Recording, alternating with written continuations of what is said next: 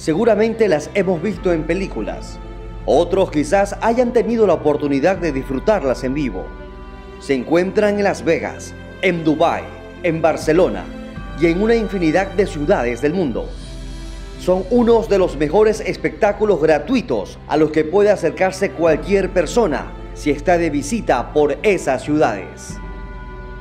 Son fuentes que deleitan gracias al movimiento de los chorros de agua que lanzan, acompañados por un asombroso espectáculo luminoso y musical.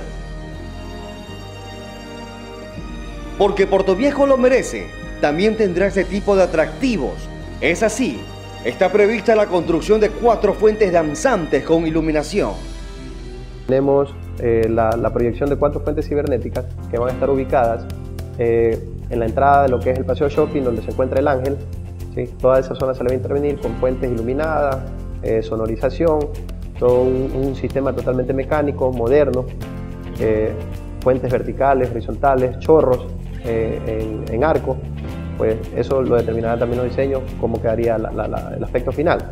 Otra de las fuentes va a ser en el monumento Inti Raimi, otro frente al Colegio Puerto Viejo, el parterre del Colegio Puerto Viejo, y uno más que va a estar en el Parque La Rotonda. Pero no todo se queda en la ciudad. Es decisión del alcalde, Agustín Casanova, y así lo ha dispuesto, que todas las cabeceras parroquiales tengan un parque acogedor. Es así que ya se han elevado al portal de compras públicas la construcción del parque para el sitio del progreso. Señor director de Obras Públicas, proceda a elaborar los estudios para que le hagan un parque bonito, bonito, moderno, moderno, como los, de Guayaquil, aunque no sean tan grandes como los de Guayaquil, pero con ese respeto, no las cuatro llantas que le ponían a nuestros parques del sector rural, se las pintaban y eso le decían área de recreación. Esa era un área de agresión a nuestros niños. Las llantas son tóxicas. Estos parques tendrán un diseño estándar y los estudios se iniciarán en los próximos días. ¿Cómo ve la ciudadanía estos proyectos que harán de Puerto Viejo un lugar con múltiples atractivos? Pues sí me gustaría que Puerto Viejo tuviera algo en que, por ejemplo, yo enseñarles a mi familia, a mis amigos cuando vienen y poderlos recrear allí. Entre más cambios que hay aquí en Puerto Viejo, sería el bienestar para nosotros.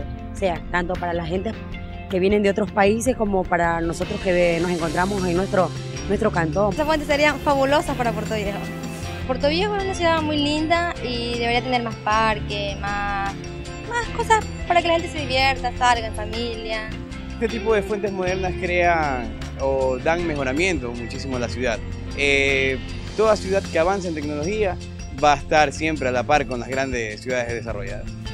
Estos modernos elementos harán de Puerto Viejo un destino obligado para los visitantes y un lugar para el disfrute de los ciudadanos. Puerto Viejo nace de ti.